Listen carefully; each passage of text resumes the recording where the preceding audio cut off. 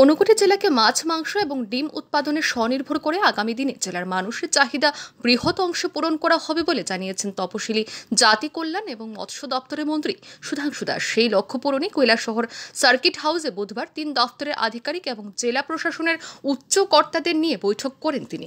লক্ষ্য পূর্ণ করার জন্য আগামী দিনে বিভিন্ন লেভেলের বহুমুখী পরিকল্পনা নিয়ে তার দপ্তর কাজ করবে বলে সুধাংশু দাস জানান। এজন্য পরিকল্পনা মাফিক কাজ করা হবে বলে উল্লেখ করেন তিনি। কি আছে এই জেলাতে এবং আমরা কি করতে পারি? বিশেষ করে আমার এআরডিডি এবং ফিশারি দপ্তর আপনারা জানেন, মাছ, মাংস, দুধ, ডিম এই চারটা বিষয়ের উপর কাজ করে মেনলি এবং আমাদের রাজ্যের প্রায় পঁচানব্বই শতাংশ মানুষ ননভেজ প্র্যাকটিস করে বা খায়। যেহেতু ননভেজ পঁচানব্বই শতাংশ মানুষ খায় এবং আমাদের জেলাতেও তার মানে সিমিলার ডিমান্ড আছে। সেই জায়গাতে আমরা আলোচনা করেছি যে আজকের দিনে আমাদের জেলাতে মাছের প্রোডাকশন রেট কি আছে কনজামশন রেট কি আছে, এবং ডেফিসিট কি আছে, এবং এটাকে আগামী দিন কীভাবে আমরা ডিমান্ড ফুলফিল করতে পারি, তার জন্য বিস্তৃত আলোচনা হয়েছে।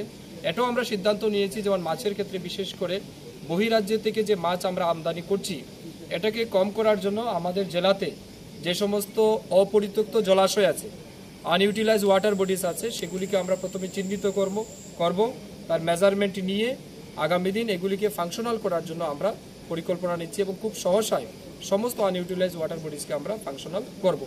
এর বাইরে এআরডিডি ডিপার্টমেন্টও দায়িত্ব নিয়েছে এবং আমরা দায়িত্ব নিয়েছি আমাদের জেলাতে মাংস হোক, দুধ হোক কিংবা ডিম হোক, এটার চাহিদা যেটা আছে এবং আমাদের ডিমান্ড যেটা আছে এবং প্রোডাকশন যেটা আছে এটাকে উপর হিসাব করে যেটা আমাদের ডেফিসিট আছে সেটাকে ফিল আপ করার জন্য এন্টারপ্রেনিয়রশিপ আমরা বৃদ্ধি করব।